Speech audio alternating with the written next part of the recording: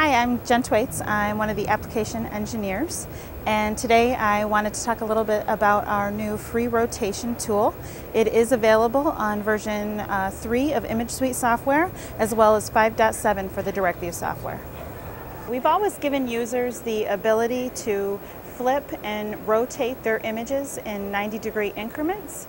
Um, but with the free rotation tool, we give the user the ability to rotate at any angle.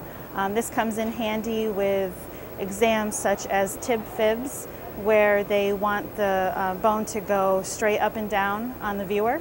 I'm just going to demonstrate this tool here with a chest exam.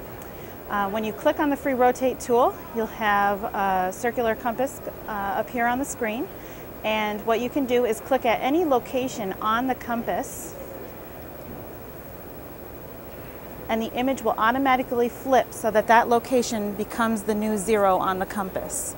The other uh, method for rotating in a free rotate with the free rotate tool is to just click and drag